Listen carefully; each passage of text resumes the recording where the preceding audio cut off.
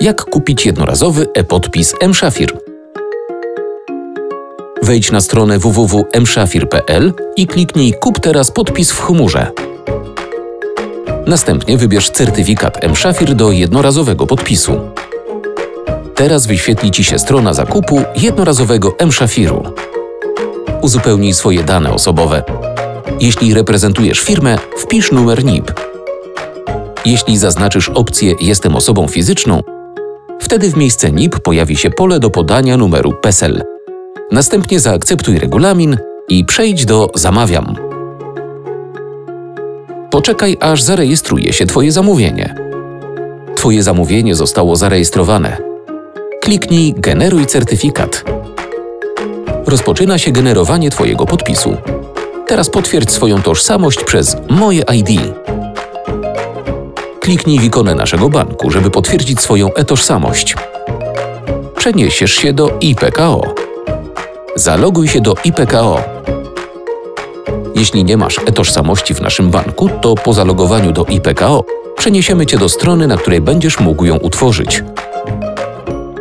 Wystarczy, że potwierdzisz poprawność swoich danych i zaakceptujesz regulamin.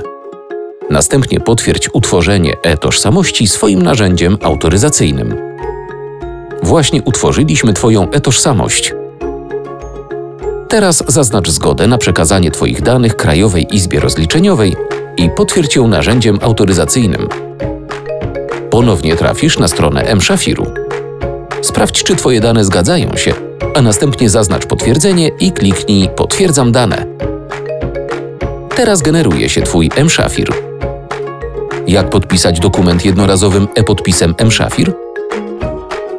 Już możesz podpisać się swoim e-podpisem. Wybierz interesujący Cię dokument w formacie PDF. Kliknij Autoryzuj i podpisz. Potwierdź, że znasz treść dokumentu, który chcesz podpisać i kliknij Autoryzuj z moje ID. Kliknij w ikonę naszego banku, żeby ponownie potwierdzić swoją e-tożsamość. Przeniesiesz się do IPKO. Zaloguj się do IPKO. Ponownie zaznacz zgodę na przekazanie Twoich danych Krajowej Izbie Rozliczeniowej. Następnie potwierdź to swoim narzędziem autoryzacyjnym.